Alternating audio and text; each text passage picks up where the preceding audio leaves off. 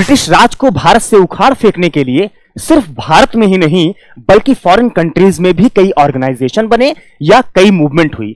इनमें से ही एक थी गदर मूवमेंट गदर मूवमेंट की स्थापना 1913 में यूनाइटेड स्टेट्स में लाला हरदयाल, बाबा बसाखा सिंह, ज्वाला सिंह और सोहन सिंह जैसे लोगों के लीडरशिप में हुई। अमेरिका, कनाडा, अफ्रीका और एशिया में रह रहे नॉन रेजिडेंशियल इंडियंस के बीच गदर आंदोलन को काफ़ी सपोर्ट मिला।